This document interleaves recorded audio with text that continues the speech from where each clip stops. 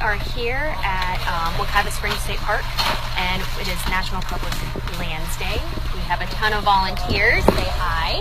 hi. And uh, we are clearing out the area for the Serenity Garden and also for um, all the hurricane damage. They are splitting wood and everything. There'll be more videos up later, but I will give you a quick peek into everybody is up to.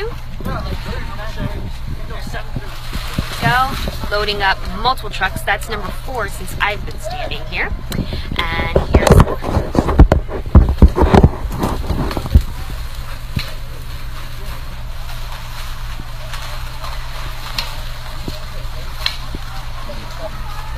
Everybody's working really hard. We are so grateful to everybody that came out. Very, very grateful to everybody who's come out and who has supported the park and who has done such a great job today. Thank you very much. And hopefully next year we see all of you out here. Say hi. all right. Thank you guys.